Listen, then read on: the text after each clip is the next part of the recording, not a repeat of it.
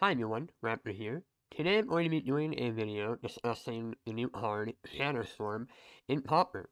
I'm going to be discussing some of the deck building choices that I have noticed, as well as what I think is correct and incorrect.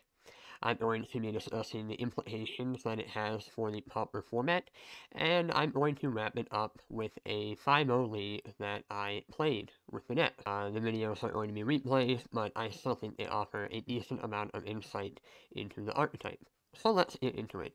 Historically speaking, Storm has been resigned to two cards, Grapeshot and Empty the Warrens. I think the more powerful of these two is the card Grapeshot because it is much more difficult to interact with. Whereas Empty the Warrens, you have cards like Echoing Truth, Moment's Peace, Stonehorn Dignitary, Fiery Cannonade, just to name a few. I think both of these cards are not healthy for Pauper and they should not come off the ban list. I think that when it comes to the heart card Chatterstorm, a lot of people have looked at older lists in which these cards were played in order to base off their current iteration of the new Chatterstorm archetype. I want to discuss why I think that's incorrect, and what I think is the more correct approach when it comes to deck building. So first things first, let's look at one of the older lists that play the cards Grapeshot and Empty the Warrens. Uh, I want to preface this by saying that there were a lot of different builds when it comes to the old Shot decks and Pauper. And so it is difficult to get one particular list that encompasses all the minute differences. However, I think this one is a decent approach in the sense that it plays the sat lands, the depletion lands, and it plays Grapeshot and Empty the Warrens. I would argue that these builds that play the sat lands were actually built incorrectly. Um, I know that might be a hot take, and obviously it's easy to say that when we learn so much, but I think the fact that we have learned so much over the years means that, you know, we can use hindsight in our favor to say, yeah, these were probably not built correctly. Now that we have gained new knowledge, we can use that to look back on the past and say, yeah, we could have done things better. So, my main gripe is that the mana base is pretty bad. You're playing cards like Supplements, Ancient Springs, and Irrigation Ditch, which are pretty bad, in my opinion. The fact that these come into play tapped, and the fact that you don't really use them for mana until the combo turn, means that these just sort of sit and play, and you just kind of sit there doing nothing. You draw it hard, you play a land, you pass the turn. You draw it hard, you play a land, you pass the turn. And I don't think that's very good deck building. Uh, when you look at Storm in other formats, especially in Legacy, for example, the reason why those decks are so good is because they spend the early turns sculpting their hand. They're not just sitting there doing nothing. They're playing cards like Ponder, Brainstorm, and Preordain to sculpt their hand we should be playing these cards. I think the main reason why people are looking at these older lists and thinking that they were good is for two different reasons. One, uh, I would say we just look at what's the most recent and just go with it without really questioning it.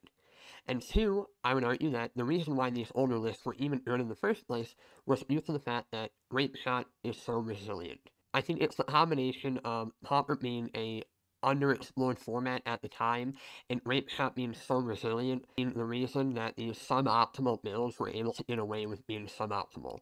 I think had they been more appropriately built, they would have been playing cards like Gush, they would have been playing cards like Gitaxian Probe, Brainstorm Ponder Preordain. They would have been hand earlier on, they would have been much more consistent, and they wouldn't have been playing garbage cards like Chromatic Star and Chromatic Sphere. So, with all that being said, what do I think is the correct approach when it comes to building Storm and Pauper? Well, when it comes to Chatterstorm, there's a couple things I want to note. First, this art is not resilient. It is much more weak than Grapeshot and Empty the Warrens. Additionally, you have to pair it with cards like First Day of Class, meaning it's not a one-card combo like Grapeshot. You have to find two cards. And to me, that is a really big drawback when it comes to Chatterstorm.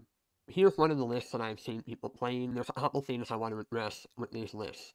First, we're not playing any cantrips. We just have to hope that we find what we need. Meaning that we have to hope that we find Chatterstorm in like the top 20 cards. If all our Chatterstorm are in the bottom 10, we're going to lose. We're never going to win the game.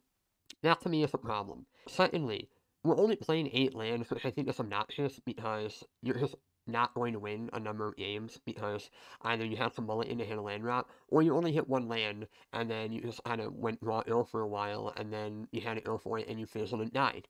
Uh, and so because of that, I think this deck is not very resilient and tries to heal the opponent as quickly as possible.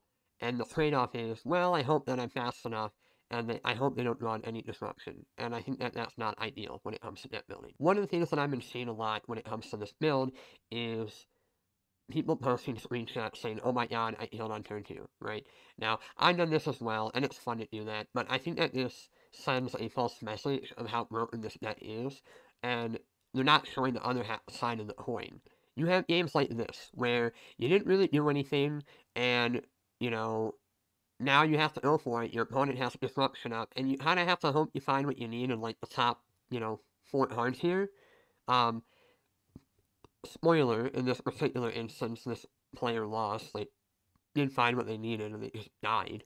But the fact that you have no cantrips, no setup, you just kind of have to sit there and hope you draw what you need, means that you're not very resilient, and you're much more susceptible to hate. And I think that when people are going to, you know, prepare for Storm, these builds are going to be pretty bad, and pretty suboptimal. So, with that being said, what do I think is correct? Well, for starters, plate cantrips. This list here is a no ban list Pauper format that I have built, and I would argue that this is the best format you could build in Pauper if there were no bans, at least when it comes to the main board. We're playing the best cantrips, Ponder Created Rainstorm, we're playing Encapsulated Rome, Dust, Treasure Cruise, some of the best loot cards in the history of Magic, and then we're just playing the best rituals in Grapeshot. Um, this deck is very powerful, very consistent, and in my experience in playing No Bandless Pauper, it is very resilient. But you're also still very fast, and the other part I like about it is that you can spend your early turns sculpting a hand and finding what you need. So with that being said, I took that No Man list uh, Pauper deck and I adjusted it for Chatterstorm. Uh, you can see here I'm still playing the cantrips, I'm still playing the rituals, but I'm not able to play Grapeshot, Treasure Cruise, Encapsulated Rome, or Gush. Uh, I, instead, I hunt Grapeshot for Chatterstorm, I hunt uh, Encapsulated Rome for Depths, and then Treasure Cruise and Gush, I hunt them for first day of class because, uh, you know, I need to uh, play that hard alongside Chatterstorm in order for it to be a one-turn kill. Um, I play an ideas amount just because, eh, having a little bit of hard draw is nice. And then most importantly, I'm playing a complicated routes on the main board to let me fight through possible disruption, whether that's counter spells or prismatic strands, or whether the storm or falls or whatever. But being able to tap out your opponent is a really big deal. So this to me is where we should be starting when it comes to Storm. I think if you want to have longevity, you need to have cantrips, you need to be able to sculpt your hand appropriately, and you need to be able to have some amount of resiliency. And I think that this particular version of Storm uh, is where that is at. So, with that being said, let's hop onto Magic Online and discuss this more in depth. Alright, so here we are on Magic Online. Uh, let's kind of break this down a little bit more in depth, so we'll go to the pile view. Um, so first off, we're obviously playing the best hand. We're going to be playing Brainstorm, Ponder, Preordain, and then we're going to be playing Through Nets because I think this is the next best option in this format. Uh, in terms of rituals, we are playing Seething Song, Lotus Petal, uh, and Manamorphose. Now, Manamorphose is not necessarily a ritual, but I consider it to be one just for the sake of discussion. So, I think these are pretty standard, and I wouldn't really change them. Um, in terms of the rest of it, obviously we're going to play for Chatterstorm, and I'm only playing three first day of class because I found that you only really want one, and drawing two feels pretty bad. And then I'm playing two Ethereals to deal with Disruption, and three Ideas Unbound to kind of have a little bit of hard draw on the combo turn. It's difficult to find better options for Storm. Um, obviously, I've looked at cards like Accumulated Knowledge, Words of Wisdom, and I haven't found them to be that great. Um, I wish there was better card draw and better spells I could play. Uh, obviously, Gush and Treasure Cruise are pretty difficult to replace, but um, yeah, I think this is one of a decent starting point, and it's what I've cons considered uh, going into the metagame. In terms of the sideboard, I have two Dispel, uh, this is one of Hacksaw answers. The third Ignrouse, because sometimes it's useful. Fiery Cannonade for Elves, because I consider that to be kind of a trickier matchup. Um, and it's also earning in random gets as well. Having a sweeper is nice. At rank 2, there's a all answer. Deep analysis is earning in the control matchups as well as decks that might be playing uh, hand disruption. Nutshot is very good against Heartland Shaman and Martyr of Ashes, both of which I suspect will uptick in popularity. Flaring Pain, earning against Prismatic Strands, earning against Moment Beast, what can I say? And then lastly, I have Introduction to Prophecy because we do play, uh, you know, first day of class, and having a lesson to tutor up some amount of the time is useful. So with that being said, um, I don't think that this particular build of Storm is, you know, 100% optimal. The metagame is too new, and there are too many things going on for me to know uh, if this is 100% correct, but hopefully you can kind of understand why I think playing Brainstorm Preordained Ponder is where you want to be. It lets you sculpt the hand and find what you need, as well as in the sideboard games, it lets you find answers to potential disruption your opponent might be having. Um, I think that, you know, sacrificing, you know, the speed of the Satland build in favor of actually being resilient and being able to deal with disruption uh, is where you want to be when it comes to Storm. Um, not to mention, this build can still heal somewhat quickly. You can heal on turn 2 and turn 3. It's just not going to happen as frequently. Um, and I also want to keep in mind that, you know, while that might sound like a negative, you have to keep in mind that the Satland builds don't even heal on turn 2 and turn 3 that much more frequently to begin with. Um, if they were healing on turn 2 or turn 3 like 80% of the games, yeah, we might have a problem, but they don't.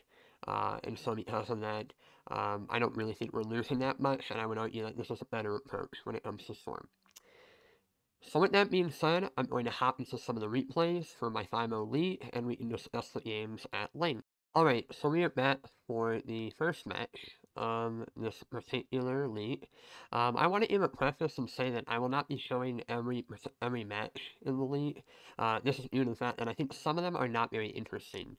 Um, it was mostly me just killing my opponent and them not having interaction. There was that, and also there was a mirror, uh, specifically the blue-red mirror, which I think is mostly dice rolling, and there's not a ton to say about that. So let's hop into match one. We are up against Affinity, and I think this hand is a heat. Now, I want to address something real quick. One of the things that I think is very difficult when it comes to playing Storm correctly, uh, at least when it comes to this build, is knowing how to cantrip appropriately.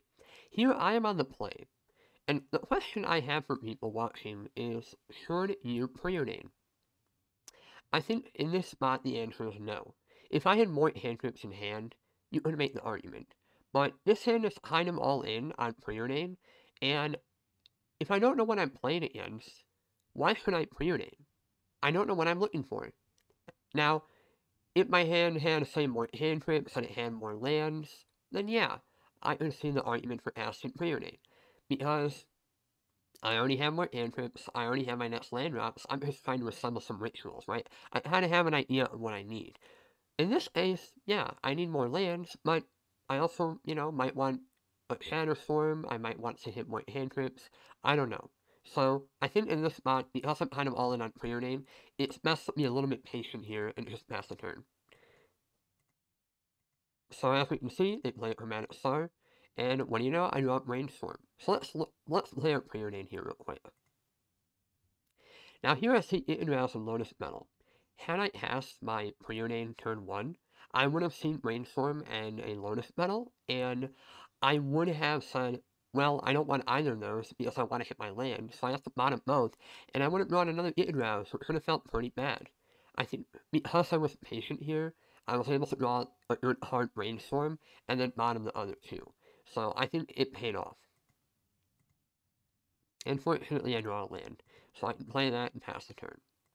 Here my opponent plays another Chromatic Star, they play a Springleaf Drum, a Frogmite, and they play a Thoughtcast, so they're really going off. I think Affinity is one of these decks that has gotten quite a bit of upgrades uh, with the new Modern Horizon set, um, so, you know, they definitely can have these really explosive draws as seen here. So here, because Affinity can be kind of explosive and fast, I think it is correct to Brainstorm. I want to make sure I can find more things. So here at Brainstorm, and I see a uh, mountain and a uh, another island, which is great. So here I believe I put back both Sinking Sod because neither are very useful. Uh, and um, I want to play my island so that way I can kind of hide when I'm on. You know, they might think I'm blue-red fairies or blue-black fairies or blue-black delver of some sort, uh, and so I'd rather conceal information when I can. So here they're thought casting, um, and they're kind of, you know, playing a lot of artifacts, they're really flooding the board, and, you know, this is kind of getting a little scary. Now, I want to talk about a couple decisions here uh, in terms of where I'm at. Now, could I try and go for it here? Absolutely. Do I think it is correct to go for it here? No. There's a couple reasons for this.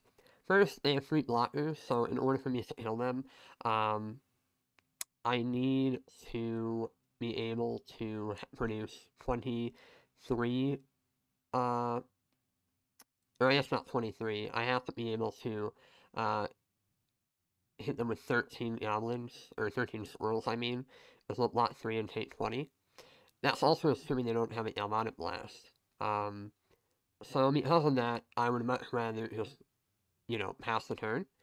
And the reason why I'm also passing is because this allows me to use Eatondrause as of a cantrip, or a moment piece, which means kind of cycles itself, uh, which I like. Uh, I don't mind waiting another turn, getting one more look, because that might be valuable, and I don't think I'm dead just yet. So here we enter combat, and now I decide to use Eatondrause. I want to use it at the beginning of combat, because this way, um, if they were to, you know, tap out on their main phase, I don't have to tap out a land for that. Uh, and also it means that they want to float mana, going to go away. Um, so they don't even get to use it effectively. So here I tap out a Myr Enforcer and their lands because in doing it this way, I ensure that I'm not dead to like double Galvanic Blast, which is definitely a possibility. And it also puts them in a tough spot because they don't want to hold back creatures for Springleaf Drum. They'd much rather attack all in. Uh, and so then that way, Springleaf Drum effectively doesn't produce mana, and here they play tap land, and they're effectively tapped out, right? Uh, well, then they play Myr Enforcer, so now they're not tapped out, but, um, you know, I think this is a much better spot to go for it than last turn. So let's start going off.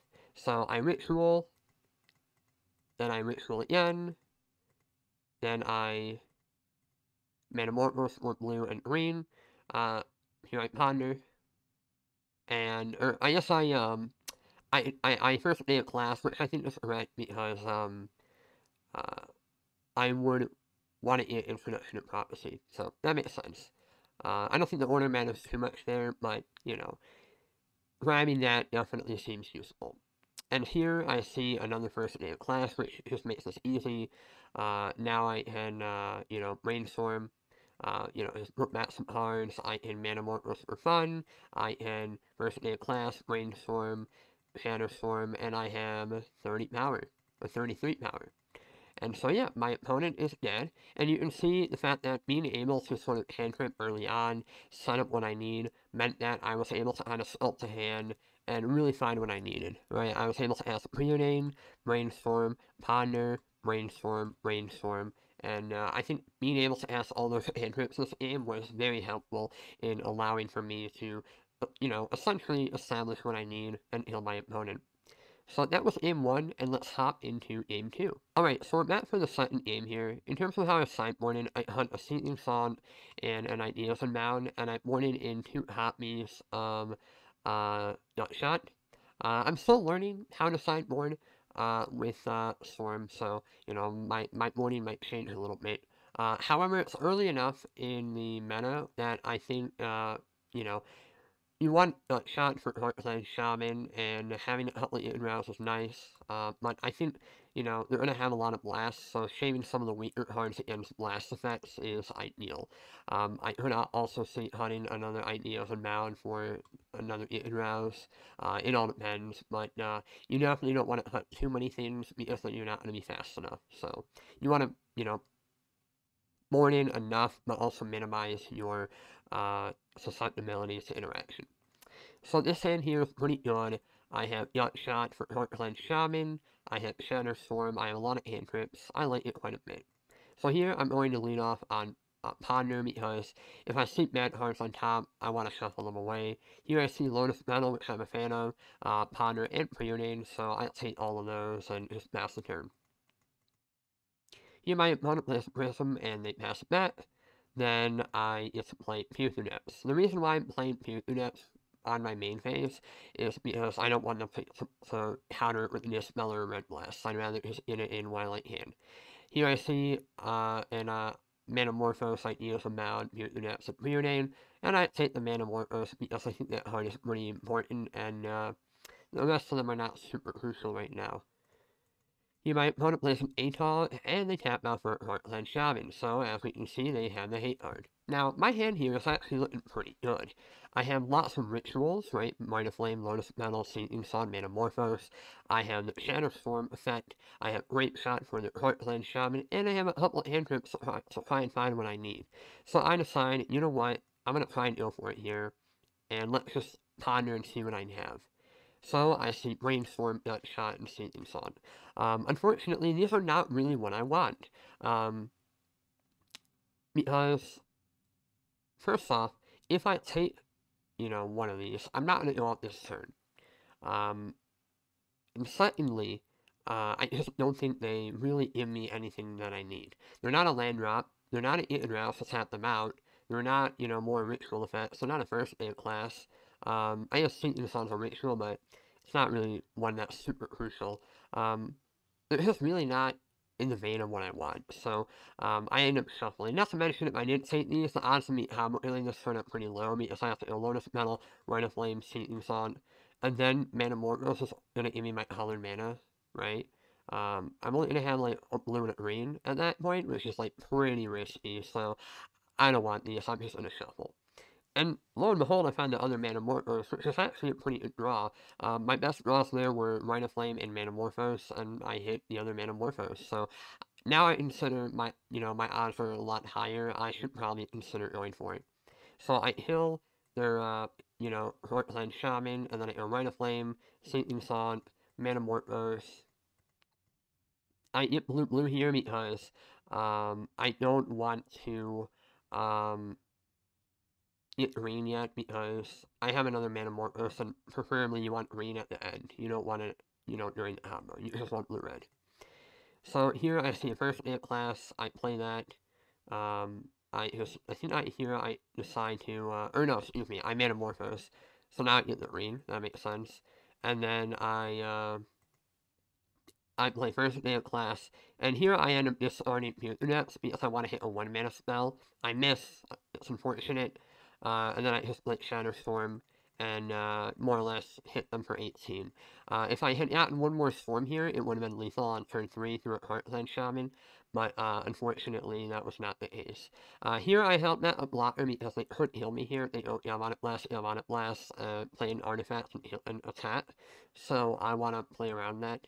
Um, and so yeah, you can see, had I not held that blocker, I was dead on board. Uh, so yeah, I, I think I played that reasonably okay. Maybe I should have held that a second blocker just in case, but um, uh, yeah, I held them on turn uh, turn four, more or less, through disruption. So uh, yeah, as you can see, having the cantrips kind of find what I needed and help me set up was pretty crucial in that game. Uh, had I hit another one mana spell or like a Lotus Petal, they would have been dead. Uh, yeah, overall, I think this was a pretty powerful uh, showing for the for the Stormnet. And uh, yeah, I think Nutshot and Eaton Rouse do a lot of heavy lifting in this matchup. Being able to tap out your opponent, uh, as well as Heartland Shaman, are two things that I value quite highly. So that was match 1, let's hop into match 2. Now, match 2 is a Storm Mirror, but they are the Silent build. And the reason why I'm playing this match is because I want to illustrate, uh, you know, the pros and cons of each particular iteration. So, this hand is a pretty bad hand, I have to mulligan. And then I keep a one-lander. Now, I want to illustrate that my net mulligan is much better than the Satland build because um, I'm mulliganing to land some cantrips, right? Every turn I just kind of sculpt my hand appropriately. Um, I think that's a pretty big deal. So here I'm at the bottom of a Redundant Ponder, and my opponent immediately, the second I see Chromatic Star, I know that they're an unfair net and they're up to no good. So, you know, they cycle Chromatic Star, they of Flame, Desperate Ritual, they're going off. And you can see here, they play in uh, Storm, and, uh, you know, that's about it. Uh, so, they had a turn to heal, but so what? You know, like, this is the problem with these builds, in my opinion, is that they're playing a ton of mana and like no hard selection or hard draw, right? And so, I mean, they, they could have waited, but then they're just doing nothing, sitting there and hoping to draw, you know, a first day of class. Like, I don't know. The odds are pretty bad. Whereas a build like this, I'm gonna get to Ask Ponder, you know? So, I to see Ash a mountain, like, I'm feeling pretty good. And I have a lot of time as well, so I'm not really under that much pressure. I cycle here. Um, I, you know, here I just pass, like, why not, you know? And I also want to illustrate, like, had they been patient, like, I know some people might say, oh, they should have waited. They just want to hit more lands. Like, I don't think it would have mattered. And once again, this was the problem with not playing cantrips. So, you know, just keep that in mind. Here I see uh, of Flame, a Manamorphose, and an Ideas Unbound. Obviously, I would love to have all of these. But um, I think I'll take the Ideas Unbound here because um, I have enough mana. Right? I already have of Flame, I already have Manamorphose. Typically, when I play Storm, I let to diversify my hand a little bit. Uh, and I draw the other, the other of Flame. So here I Preordain. And at this point, I'm like, okay, I, I gotta go for it. Like, the odds of me dying here are pretty low or whiffing, I should say, are pretty low. Uh, you know, I'm going to draw so many cards here. I hit up Brainstorm, I hit up Mutant Depths, I hit the first 8 class, so then it's just elementary. Uh, you know, I'm just going up, doing my thing, blah, blah, blah. At this point, it really doesn't matter how I, uh, play this out. I can just play at random and heal my opponent. And that's more or less what happens. I, uh, you know, I, I get 15 power with the Swirls on turn 4, or 15 Storm with the Swirls, 30 power on turn 4, and heal my opponent. And, uh, yeah, I mean, I think that's why this build is much better. Like, the fact that early on I also cast, like, multiple cantrips, and then I was like, yep, I have everything, go for it. Like, it's a pretty big deal. So, uh, yeah, all in all, uh, pretty proud of, uh, of how I played this game, and, uh, yeah, let's hop into match number, game number two. Alright, so we're back for game number two. Uh, in terms of how I sideboarded, I boarded out both Ignrouse and a Seething Song for three Echoing Truth. That's about it. Ring Truth destroys them, and deck is not very resilient, so that's how I'm going to board. They play a Tapland on turn 1, I just say land ill. Uh, here I actually made a mis uh, a mistake because I accidentally clicked through the turn. I meant to cycle for a island uh, on the end step, but I messed up. So here I'm a little annoyed about that because um, it means that I will have to uh, give them a window to kill me. But the thing is, they play Faithless Looting, which is like card disadvantage, which seems really bad in a cabinet where you're not using the graveyard. Um, so I'm like, well, it sucks, but the odds they kill me here are pretty low. So I'm just going to, you know, play a Ponder and, you know, see what I can grab. And here I see some lands, which I'm, I'm totally fine with. Uh, I'm just going to take both of those. Um, there was there's a Tutor form on top, but I don't really want the third copy, so I'm going to shuffle. Um, and here you can see my opponent is just, uh, you know, just chilling. Here, just play another hand cantrip. I get rid of a Chatterstorm and a Lotus Petal. Uh, I don't really want the Lotus Petal, and um, I don't really need the Chatterstorm in most scenarios, so uh, I'm just going to put those away, and, uh, you know, continue to hit my land drops, take it slow. Uh, here I just, you know, shuffle and, uh, you know, pass the turn. And here you can see my opponent finally decides, okay, I should go for it. And let's just watch them go for it here. They're going off, they're going off, they're going off, they're going off. Nah, nah, nah, nah. And they play Infinite Prophecy, they play a Petal, and they play Shadow Storm. Well, unfortunately for them, I have the answer. Boom, gone. Then on their second main phase, they play it again, and, well, unfortunately for them, I also have the answer to this. Uh, and the, the bad part about this, by the way, uh, whoops, I apologize for clicking through that, that's, I don't know what Magic Online was doing. Um, the bad part about this, by the way, is, like, they have nothing. Um, I think the nice part about my list is that I at least have decent top decks and late cantrips. Whereas, like, I don't know what their top decks are, and they have no lands in play, so it seemed pretty bad. On my turn, I decide to lead up with Ideas Unbound, because at this point, um, all I'm really looking for is a Rite of Flame. So I know I need to Ideas Unbound, Ideas Unbound, play a pedal, ponder, hope to hit Rite of Flame, and then I see Rite of Flame on top, and then it becomes pretty easy. Um, the reason why I wanted to hit Rite of Flame was because Rite of Flame has each card named Rite of Flame in each graveyard, not just my graveyard. So my Rite of Flame was going to add me two red, and then two more red for their Rite of Flame. So it was like a, a slightly better Dark Ritual. Um, so yeah, uh, if I when ideas ideas Rite of Flame, I ended up just OCing Saw Manamorphose Manamorphose, so then it was pretty easy. So that's what I ended up doing here. And uh, I apologize for kind of rushing through that there real quick. But uh, yeah, I mean, I don't really have anything to worry about at this point. I can just, you know, start going off, going crazy. Uh, and the funny part is I actually have enough for triple Chatterstorm. So I'm to have like, you know, 60 plus power and, uh, you know, put them at Mega Dead, uh, I think is pretty funny. So, uh, yeah, I, uh, I Chatterstorm here, and they are dead. So, uh, yeah, all in all, this is pretty fun, pretty sweet.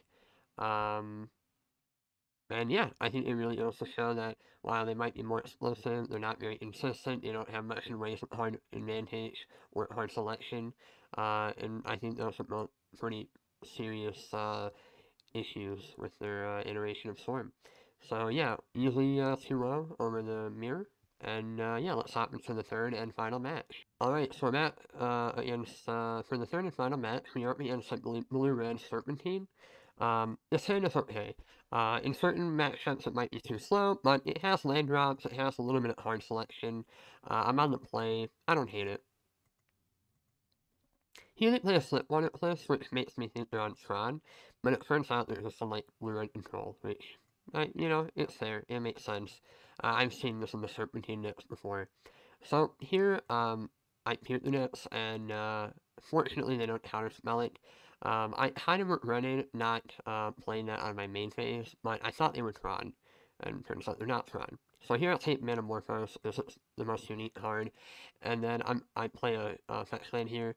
Um, I bought up two Rite Flames, which is not great, because I do like that card, so I do decide to, um, uh, shuffle before I through Nets. The reason why I'm not Peer through Netsing on my main phase is because I think that shows a sign of weakness, um, and I don't want to kind of signal anything like that. Um, also, the other reason why I don't mute the notes is because I'd rather just not cast it. Like, I'm not under any pressure, and I'd rather, like, wait and draw, help more cards and get more, uh, you know, information before I cast it. And here it turns out I drew another mute the notes, which is a very good card. So now I can cast mute the notes. Uh, I see Chatterstorm. Uh, I also see of Flame. Uh, I think of Flame is more important than the Chatterstorm here because I do want more mana. Um, and typically I can fight Chatterstorm later on. I don't have to have it in my opening hand for it to be lethal. Um, not to mention, multiple Chatterstorms is pretty awkward, whereas multiple of Flames, not really that bad. Um, so yeah, that was more or less my thought process there. Uh, here I take um, I like the nuts, and I want to hit a Ignrouse so I can tap them out, and lo and behold, I find the Ignrouse. So now I'm just land ill for a little bit, uh, hoping I can tap them out at some point. Uh, here I'm playing it pretty slow, uh, and I kind of afford to do that because I have no pressure. Um, here I just decide, uh, I don't know what's going on here, if the replay is breaking on me, or what's going on. Um, Okay, it looks like the replay does end up breaking, unfortunately. But, um, TLDR, they play a creature here, or they play a spell here. I tap them out on their end step, and then I just get to go Lotus Petal, or Rite of Flame, Lotus Petal, Lotus Petal, Manamorphose, first day of class. Um, I think I hit a cantrip as well, and then I just hit Chatterstorm, Shadow Storm and kill them. Uh, but yeah, I healed them on the on the following turn. Um, even I was tapping them out was pretty effective, and it's why I like having it in the main board because otherwise I might hit counter spells, and you know that that might you know potentially you know stop me from killing them. So uh, yeah, I like having it in rouse. But uh, the other thing here is that um, you know it also stops potential hate cards like Fiery Cannonade. So um, yeah, that's that. Uh, we won game one. Let's hop into game two. Alright, so in terms of sideboarding, I boarded out Double Seething Song, um, which I'm not really uh, too much of a fan of. and I'm morning in a deep analysis and a in rouse. The reason why I'm morning out uh, Seething Song is that we play a longer game, so I don't need as many rituals. Uh, I'm going to have more land wraps in play usually, and uh, I would have rather have an in rouse to tap them out. A deep analysis is just randomly doing it, drawing more cards and hitting more land wraps. So, uh, yeah, that's pretty simple in terms of morning. Uh, here is Orlando. Once again, because it's a longer matchup, I don't mind holding on the cantrips. I'm not trying to race here. I'm trying to play it slow. I know my role in this matchup. Uh, and he, yeah, I just take an Ash Barrens and pass the turn. I have a Seething Song on top that I wouldn't mind drawing. Here my opponent is tapping out Marauders and whatnot. And I'm just going to take it easy. Here I, uh, I played Brainstorm and I stopped at uh, first day of class and an Ash Barrens. And I'm not going to shuffle here because, quite frankly, I don't want to. And once again, I'm being pretty patient. All I'm really trying to do is just ensure that I can hit my land drops and take it from there. Here my opponent plays Behold the Multiverse, and here I decide, okay, let's try it in a uh, Brainstorm while I hand. Uh, I believe they reveal the Red Blast, so uh, I want to make sure that I don't have to worry about that uh, countering a Brainstorm. So here I put back a ponder and a land, and then I just pass the turn. Uh, here, I'm not going to shuffle because, once again, I would not mind hitting a land. So now I shuffle because I don't really need the ponder, and I wouldn't mind, you know, trying to hit more action. Uh, so yeah, here I your name. I see an Ash Barrens and a Chatterstorm. Don't really want the Ash Barrens, but I will take the Chatterstorm. And then I see Manamorphose and Seething Song. Definitely want both of those. So I just go top top and pass the turn. Uh, oh, I guess I bottom the Seething Song. My mistake. Um, I wouldn't have mind drawing the Seething Song, but I can kind of see why I would have bottomed it. I don't really need it at this point, because I do have a lot of mana. So, yeah, that makes sense. Uh, anywho, uh, here I play it in Rouse, tapping out my opponent, because I feel like this is my window. Uh, if I can tap out most of the blue, uh, they're probably not going to be able to win anyways, and then I just go for it. Um, they didn't really have anything, so whatever. I'm just gonna go crazy. Uh, I, I get some blue mana here, I get some green, they red blast me, I get some more mana here. Uh, you know, I first day of class, get Introduction to Prophecy, play Introduction to Prophecy, play Chatterstorm, hit him for 20, and they die. Uh, so yeah, that was that. We won that match uh, pretty handily. Um, I think, you know, if they had more counter spells and they had a net Echoing Truth, um, you know, this might have been more sketchy. Maybe they could have countered some of the interest copies and then held up Echoing Truth. So, you know, it would have been a little bit more tricky, but um, they didn't have it and they lost. So, uh, yeah, that was the third match. Uh, for recap, we went uh, 3-0, 6-0. Uh, the other two matches were both 2-0 wins. Uh, beat the Mirror, I won the nice roll. Uh, then first four games, I just was faster. Um, and then I beat Boros uh, Monarch uh, because just didn't have any interaction. So, uh, yeah, that was that. Uh, and let's hop into the recap. So, we're back for the recap. All in all, I think this iteration of Storm is where you want to be. I think it is a uh, better uh, suited to deal with disruption, and just cantrips aren't powerful in general. Uh, with that being said, what are my thoughts on Chatterstorm as a card? Do I think this is going to get banned? Do I think it should be removed from Pauper? Um, right now, I think it's hard to say. I think right now, everyone is pretty ban happy, and I think the sky is falling.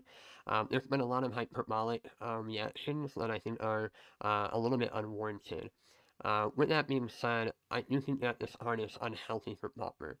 Um, I think that uh, there, uh, uh there should be a more nuanced approach when it comes to this card um, that doesn't involve the, the, the sky is falling narrative that I've been seeing quite frequently. Uh, I'm of the opinion that Storm is unhealthy for Pauper, not because it's broken, as many people say, but because it narrows the format and creates unhealthy gameplay. Uh, the fact that you have to kind of mull it into sideboard hate, uh, the fact that game one, a lot of people don't really have tools to fight this, means that it doesn't create a very healthy dynamic for Pauper. Um, not to mention, I mean, we can meet sideboard hate anyways, with cards like Iconrouse. So, uh, or just randomly healing them. It's like they have to assemble something early on. They have to tap out and, do something to get presence, and in doing so, they might be opening themselves up to just dying. So you put people in a weird spot where they don't want to tap out, but at the same time they kind of have to. And sometimes when they tap out, they die anyways. And we saw that in the Affinity match where they tapped out turn three, and they're like, okay, go for it, and then they just died anyways. You know, like that's not ideal in terms of gameplay, in my opinion. Uh, I'm not really a fan of that. So I think Chatterstorm should go. Uh, time will tell if it does, but I don't think it's very healthy for Pauper. I think um, it will narrow the format. It will push out certain decks that just don't have correct tools. Um, and uh, I think people will have to overcorrect their, their, their list to deal with it, and they will be dedicating quite a bit of sideboard slots, so I think it will just create a bad, you know, format, and it will just push out certain archetypes, and, you know, I, I don't think that's great, you know. Um, I think I expect to see a rise in blue black fairies. Um, I think affinity will become more popular, um, and I think we're going to see top eights that are much less diverse than we would want them to be. Um, and I think until you know Storm goes away, uh, we're not going to see that change. I think Storm, you know, it might not be putting up a ton of top eight results, but um, I think you know its effects on the format will be more subtle in the sense that when you look at diversity and what's viable, the, the options are much less restricted, or much more restricted, rather, in terms of what's viable. Uh, so, yeah, I think overall effects on the format will be unhealthy, and I certainly hope that it will go away in time. Uh, I don't think it necessarily has, it, you know, the numbers quite, net, quite yet, especially with the bad builds that play the Satlands, but, um, I do think that its effect on the format is still unhealthy, and the fact that you can randomly kill people on turn two is not really something I want in a proper format. I think in something like Legacy that is appropriate because you have cards like Daze, Wasteland, Force of Will, Force of Negation to really disrupt those types of decks, but in Pauper we have nothing. We just don't have the proper tools, and I mean the fact that there's potential for a max to be heal you on turn two, go to the sideboard games, heal you on turn two again, is not really enjoyable, and I don't think that's very healthy for Pauper. So, that's my take. I don't think it, you know, it should last in Pauper. I hope it goes away. Um, and I do think, you know, the format will be, will be uh, better after that. Um, I do think Affinity is going to be interesting. I think them having eight Mirror Force effects is kind of obnoxious. Uh, I will be doing a video on that, hopefully, sometime in the future. Uh, but right now, I think the format is kind of obnoxious, and I don't really want to make content in a storm-heavy format. Um, but who knows? Maybe things might even out. But, uh, you know, right now, I think the format's kind of in a rough spot that I would rather kind of take a break and wait and see uh, before doing anything crazy. Um, one last thing I want to mention, by the way, with Chatterstorm is that if it doesn't go away, one of the things that you can always do with it is have it be a sideboard card. Um, I could very realistically see something like Familiars just play Chatterstorm and then randomly have games where they just like make 10 tokens, you know, like, I think that could also be problematic. The fact that it can be used, like, an the Warren sideboard card is not something I'm a big fan of either. So, uh, yeah, that's all I have to say. Uh, thank you for watching, and I will see you guys next time.